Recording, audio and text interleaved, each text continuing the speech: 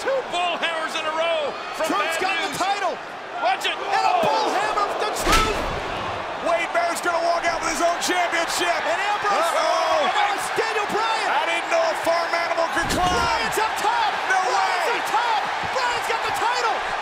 Ziggler Barrett. And down goes Bryan. Down goes Ziggler. Ah, oh, Bryan was there. Bryan was so close. Go.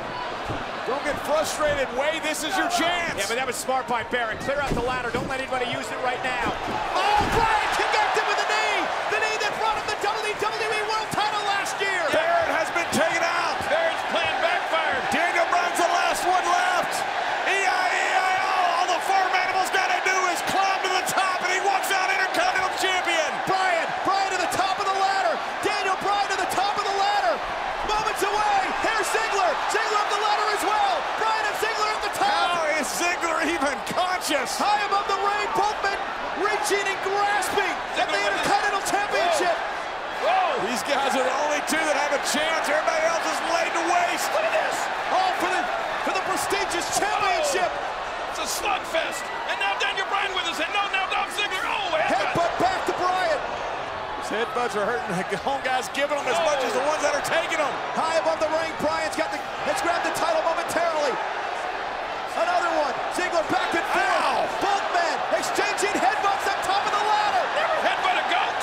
You can't win. Look at this.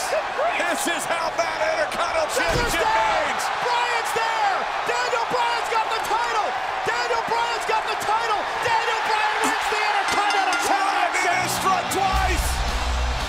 Here is your winner and the new Intercontinental Champion, Daniel Bryan. And guys, as we said, WrestleMania this year begins the way we ended WrestleMania last year.